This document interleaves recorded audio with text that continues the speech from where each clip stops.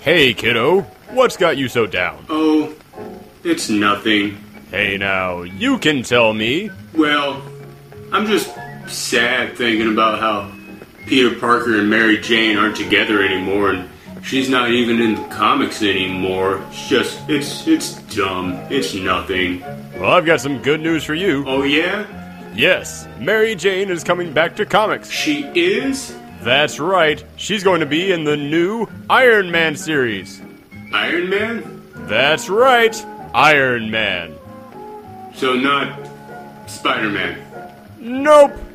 So they're still not together, even after Secret Wars. That's right. Isn't that great, sport? Okay. Uh, could you um, could you back that camera up a little bit? Uh, Yeah, you Okay. might want to keep moving back just a little bit. uh alright, but why? Oh, it's because I'm about to flip this table right now.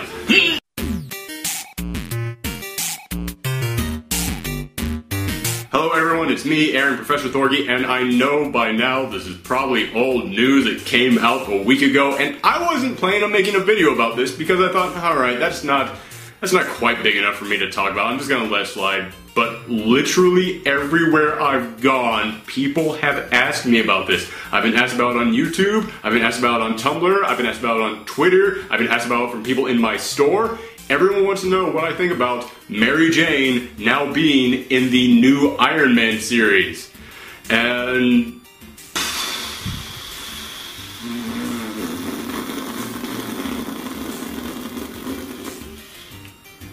yeah. Now, before I go into detail about, let's just address the elephant in the room, which is that one more day and Marvel erasing the Spider-Man and Mary Jane marriage. I know it was five years ago, but for all of us Spider-Man fans, that is a pain that will never go away. That is a wound that will never fully heal.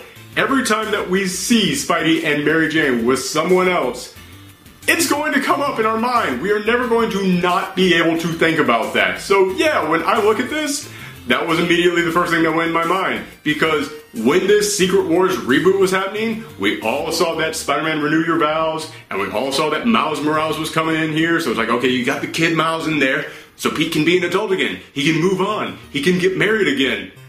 And seeing that that isn't happening, yeah, that's the immediate first reaction that all of us Spider Man fans have. It is just simply, God damn it, again, Marvel, you got me again. And when you get down to it, that's what it really is. It is just simply, you got me again, because Marvel has teased us with that so many times. It has thrown out there this idea that, hey man, they might get back together again so many times that I just can't take having my emotions play with that many times. I can't. It's just so exhausting. I'm just tired of it. I am. I'm not even angry anymore.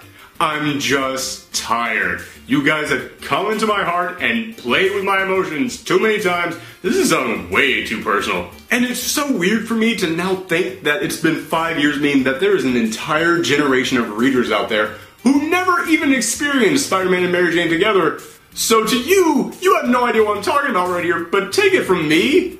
That hurt. It was the biggest FU I've ever seen a comic book company give someone in my entire life. And anytime that they once again kind of tease with that, like, oh, no, they're not getting back together, we go through it again. So, yeah, when I saw this, my very first initial reaction was, again.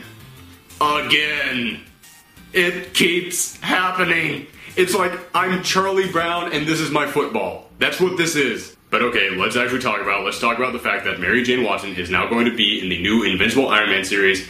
And the very first reaction that everyone had was, oh, they're going to be in a relationship. They're going to be in a relationship. Tony and Mary Jane are hooking up. Let's figure out the couple name for that. Tony Jane. That's it. It's happening. Tony Jane is canon, everyone. But, slow your roll. First thing we have to actually address is the fact that Bendis has come out and said, I'm not saying what the relationship is. I am not saying why she is there because I want people to read to find out.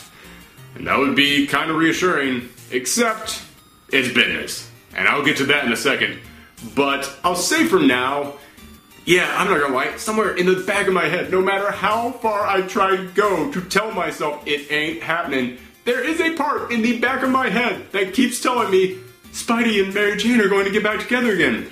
And when it comes to couples in comics, the one thing that I always hate is whenever the other person, the non superpowered person, is there just to hook up with him, is there to just be the couple, is there just to be the girlfriend, just to be the boyfriend, just to be the extension of our protagonist. I like for the couples to actually have their own lives and to actually go off and do their own things. So there is a part in the back of my mind that's like, you know what?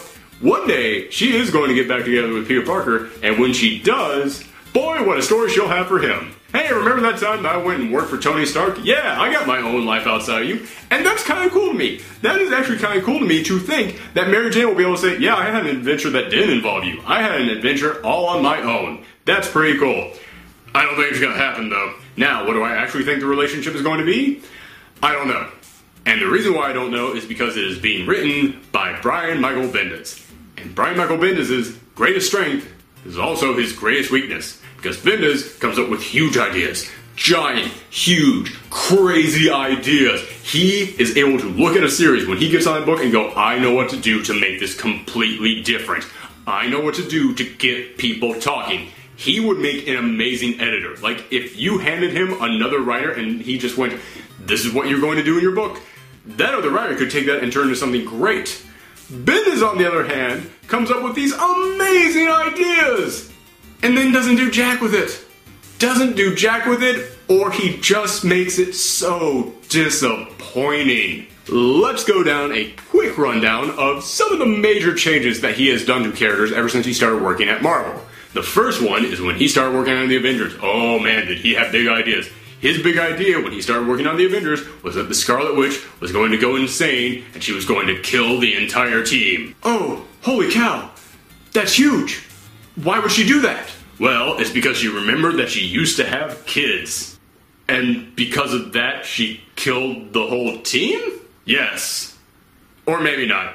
I don't know. Some other writer will eventually explain it. Okay. Well, what happened to the team after that? Well, they became a street level team of heroes, and they all operated out of Iron Fist Apartment. Oh, and Doctor Strange is no longer the Sorcerer Supreme. Oh, wow, that's really big. Um, well, who is the new Sorcerer Supreme? It's going to be Brother Voodoo. Oh, wow, that's a huge change. Uh, well, what are you going to do with Brother Voodoo? Oh, I don't know. I'll have some other writer take him over. And if that book doesn't work out, I'll kill him. Uh, okay, well, what about Secret Invasion? What did you do with Secret Invasion? Oh man, with Secret Invasion, I had it revealed that the Skrulls have been in hiding among humans this whole time, and tons of our favorite comic book characters have been replaced by Skrulls. Oh man, that's an amazing idea. Well, who did you replace with Skrulls? I replaced Hank Pym. That was it. All that lead up for just Hank Pym? I, okay, whatever. Well, what about Age of Ultron? What did you do with Age of Ultron? Oh man, Age of Ultron, at the end of that, I broke all of time and space. Holy cow, that's huge! What does that mean? Oh, I I don't know. Sounds cool though. I'm sure someone else will do something cool with it. Uh huh. And what about with all new X Men? What did you do when you took over the X Men? Oh man, I did so much stuff with them. I brought the old X Men from the past here to the present, and they were stuck and they could never go home. And Cyclops, his powers were all messed up, and he can't figure out why, and he's starting to go crazy and he's starting to turn over to the dark side. Oh, well, why can't the old X Men go back in time? And why is Cyclops' powers messed up? And why is he going crazy? Oh, well, I have one more issue of X Men coming up before I leave. You'll just have to read that to find out.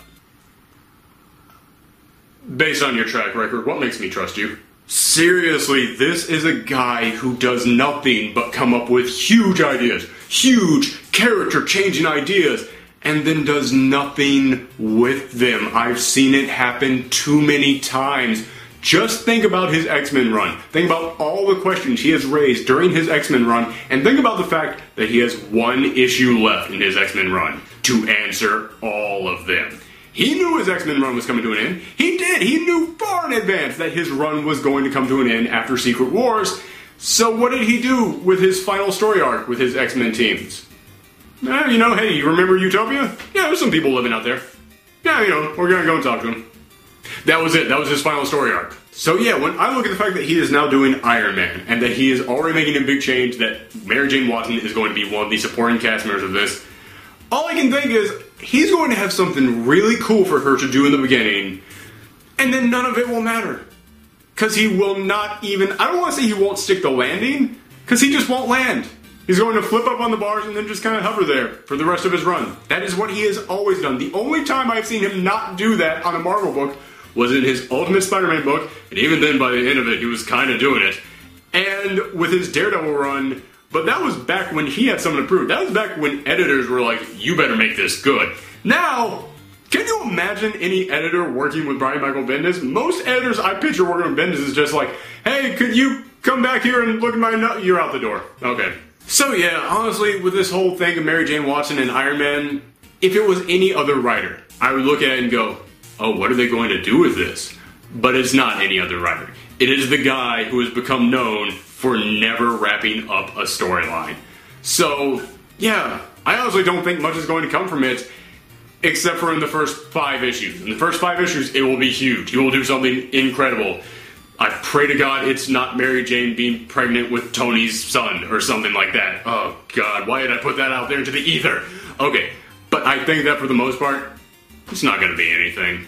It's not to last, so whatever.